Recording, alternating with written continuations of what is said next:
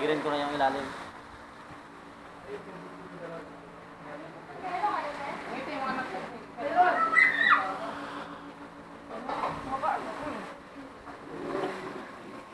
Corby, Corby.